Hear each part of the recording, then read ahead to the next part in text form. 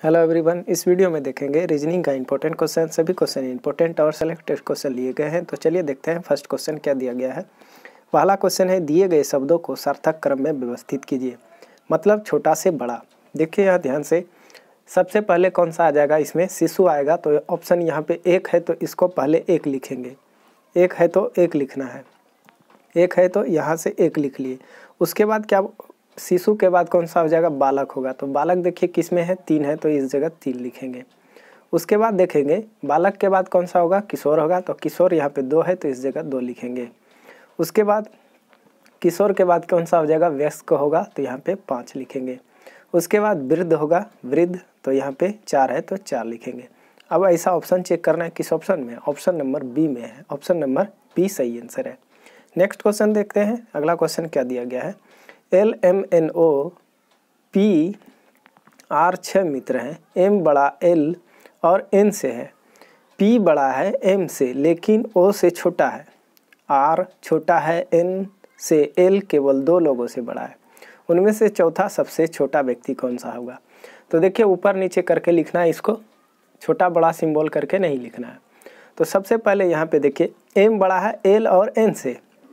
L और N से तो एल और एन दोनों को एक एक एक ही जगह रखना है।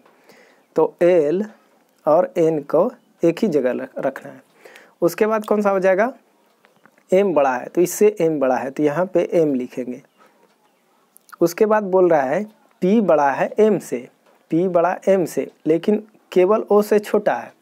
तो ओ कौन सा हो जाएगा? ऊपर हो जाएगा पी के ऊपर। आर छोटा है एन और एल से केवल दो लोगों से एल बड़ा है। तो आर छोटा है एन से तो नीचे यहाँ हो जाएगा आर एन के नीचे। लेकिन बोल रहा है एल केवल दो लोगों से बड़ा है तो कौन किससे किससे बड़ा हो जाएगा? और आर और एन से तो इससे बड़ा हो जाएगा एल अब बोल रहा है सबसे चौथा छोटा व्यक्ति, ये पहला छोटा, ये दूसरा छोटा, और ये एल तीसरा छोटा, और एम क्या हो जाएगा? चौथा छोटा। तो यही आंसर आ जाएगा option number B option number B सही आंसर है। नेक्स्ट क्वेश्चन देखते हैं। अगला क्वेश्चन क्या दिया गया है? निम्नलिखित श्रृंखला में प्रश्नवाचक चिन्ह के स्थान पर कौन सा आएगा? ध्यान से देखना है। छः बीस, चालीस, अड़सठ, एक सौ छः क्वेश्चन मार्क दिया है। कैसे बनाना है? यहाँ पे अंतर देखेंगे। ये दोनों का अंतर कितने का है? चौदह का अंतर। तो यहाँ पे लिखेंगे चौदह। आगे अंतर कितने का है? बीस का है। आगे अंतर भी देखेंगे कितने का है? अट्ठाईस का है। और यहाँ से आगे का अंतर देखेंगे तो अड़तीस का अंतर है। तो इससे पता नहीं चल रहा है, तब क्या करेंगे? यहाँ से इसका भी अंतर देखेंगे। कितने का अंतर? छः का। यहाँ आठ का और यहाँ दस का। तो देखिए, छः, आठ, दस हो रहा है। यहाँ कितना आना चाहिए? बारह अंतर आना चाहिए। तो अड़तीस में बारह जोड़ लेंगे, कितना आ जाएगा? पचास। अब क्या करेंगे? एक सौ छः में पचास जोड़ लेंगे। एक सौ छः में पचास जोड़ लेंगे, कितना आ जाएगा? एक सौ छप्पन। एक सौ छप्पन देखिए ऑप्शन नंबर ए में है ऑप्शन नंबर ए सही आंसर है। नेक्स्ट क्वेश्चन देखते हैं, अगला क्वेश्चन क्या दिया गया है? दी गई श्रृंखला में कौन सा संख्या गलत है? इसमें से गलत संख्या बताना है, दो तरीका से बना सकते हैं।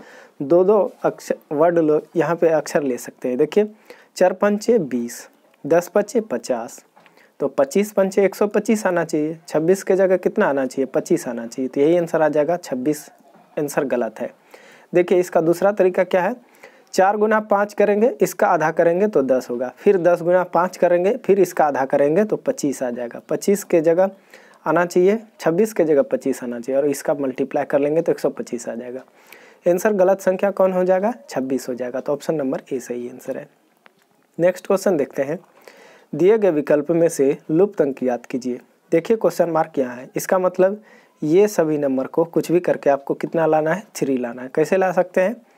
ये सभी नंबर को, बाहर वाले नंबर को जोड़ लेंगे और ये छत्तीस में घटा लेंगे। सात, चौदह, बारह को जोड़ लेंगे, कितना आ जाएगा? तैतीस। तो ये छत्तीस में तैतीस घटा लेंगे, कितना आ जाएगा? तीन। तो यहाँ वाला तीन दिया गया है। आगे भी वही करेंगे, सोलह, नौ, पच्चीस और ग्यारह को जोड़ लेंगे। तो कितना आ जाएगा? छत्तीस। तो चौवन में चौवन में छत्तीस घटा लेंगे, कितना आंसर आ जाएगा? अठारह। अठारह देखिए, ऑप्शन नंबर डी में है। ऑप्शन नंबर डी सही आंसर है। नेक्स्ट क्वेश्चन देखते हैं। अगला क्वेश्चन क्या दिया गया है? दी गई समरूपता के आधार पर दिए गए विकल्प में से नहीं दिया गया संख्या युग्म ज्ञात कीजिए। देखिए कैसे बनाना है। ये नाइन जो है, ये क्या है? थ्री का स्क्वायर है। सत्ताईस जो है, थ्री का क्यूब है। तो आगे भी देखेंगे, ऑप्शन चेक करेंगे। यहाँ ये नहीं हो रहा है। इसमें भी देखिए, आठ आठ किसी का क्यूब है, स्क्वायर है, नहीं है। ये चौंसठ यहाँ भी नहीं है यहाँ भी नहीं। इसमें है तो देखिए ये क्या है? नौ का स्क्वायर है और ये क्या है? नौ का क्यूब है। तो यही आंसर आ जाएगा ऑप्शन नंबर डी, सही आंसर है। नेक्स्ट क्वेश्चन देखते हैं। प्रतीकों के उपयुक्त सेट का चयन कीजिए। ध्यान से देखना है और आसानी से आप बना सकते हैं ये सब क्वेश्चन को। सबसे पहले ऑप्शन में जहाँ भी ऑप्शन में भाग वाला है, वहाँ पे भाग वाला रखेंगे। ऑप्शन ए चेक करेंगे। भाग वाला सिंबल यहाँ है तो इस जगह रखेंगे भाग का। क्या 19 में 10 से पूरा पूरा भाग लगेगा? नहीं लगेगा। तो ऑप्शन नंबर ए गलत है। ऑप्शन बी में देखिए यहाँ पे है तो यहाँ पे रखेंगे, क्या तीन में 19 से पूरा पूरा भाग लगेगा? नहीं लगेगा तो ऑप्शन नंबर बी भी गलत। ऑप्शन ए में यहाँ भी भाग था और ऊपर में भी है तो ये भी गलत। तीन है, तीन गलत हो जाता है तो चौथा ऑटोमेटिक सही हो जाता है। लेकिन इसको भी सॉल्व कर लेंगे, सत्ताईस, यहाँ क्या दिया गया? मल्टीप्लाई का तो मल्टीप्लाई थ्री उसके बाद प्लस है प्लस उन्नीस उसके बाद माइनस कितना है? दस। अब देखिए क्या होता है। मल्टीप्लाई हो जाएगा, उसके बाद जोड़ होगा, उसके बाद घटा हो जाएगा। सत्ताईस तिया कितना आ जाएगा? ये सत्ताईस तिया होगा, इक्यासी। और यहाँ उन्नीस उन्नीस और माइनस दस माइनस दस।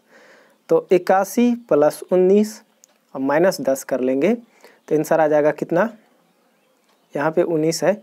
तो जोड़ने के बाद आपका आ जाएगा जोड़ के घटा लेंगे तो आंसर आ जाएगा नब्बे। नब्बे यहाँ पे देखिए आ रहा है तो यही ऑप्शन नंबर डी सही आंसर है। नेक्स्ट क्वेश्चन देखते हैं। अगला क्वेश्चन क्या दिया गया है? ई का पुत्र ए है। देखिए, ये ध्यान से समझना है और आसानी से आप लोग बना सकते हैं ये क्वेश्चन को। कैसे बना सकते हैं? देखिए ई का पुत्र ए है। क्या बोल रहा है? ई का पुत्र ए है। तो यहाँ लिखेंगे ए पुत्र है किसका? ए पुत्र है ई का। ई का पुत्र ए है। तो इस जगह ई लिखेंगे और ये ए। पुत्र है तो क्या हो जाएगा? प्लस हो जाएगा। बी का पुत्र डी है। बी का पुत्र डी है। यहाँ से कुछ नहीं है। ये अभी नहीं चल रहा है पता तो आगे बढ़ जाएँगे। ए का एफ़ से विवाह एफ़ के साथ विवाह हुआ। ए का एफ़ के साथ विवाह हुआ है। तो ये माइनस हो जाएगा। बी की पुत्री एफ़ है। ये बी की पुत्री है एफ़। यहाँ पे बी की पुत्री तो यहाँ लिखेंगे बी ऊपर हो जाएगा। ये पुत्री है तो ये यहाँ पे हो जाएगा। उसके बाद बोला डी का ए के साथ क्या संबंध है? अब देखिए यहाँ पे नहीं चल, ये वाला अभी पता नहीं चल रहा है लेकिन यहाँ ऊपर एक छोड़े हैं लाइन को। तो बी का पुत्र डी है। बी का पुत्र डी है। यहाँ पे डी है। तो ये दोनों कौन सा हो जाएगा? ये दोनों भाई बहन होगा और ये पुत्र है। भाई बहन होगा।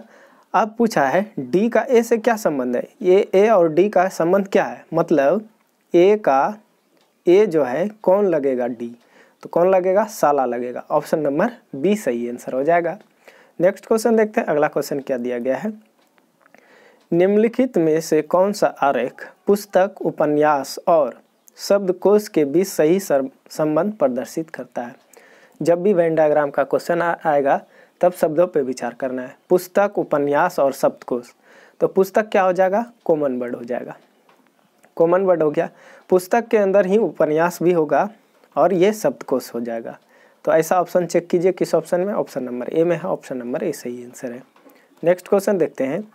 यदि जनवरी 2014 को बुधवार था तो एक जनवरी 2015 को कौन सा दिन था?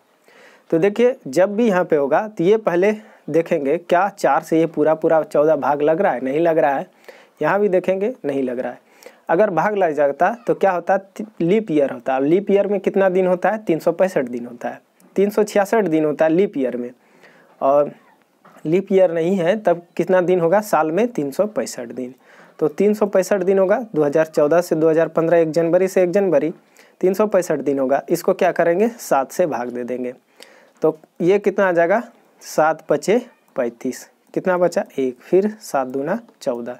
हासिल कितना बचा? एक। तो यही एक शेष से मतलब है। बुधवार था, बुधवार में एक दिन जोड़ लेंगे। कौन सा हो जाएगा? बृहस्पतिवार। बृहस्पतिवार देखिए ऑप्शन नंबर बी में है, ऑप्शन नंबर बी सही आंसर है। चैनल पर पहली बार विज़िट कर रहे हैं तो लाइक, शेयर, सब्सक्राइब ज़रूर कीजिएगा। मिलते अगले वीडियो में, तब तक के लिए जय हिंद।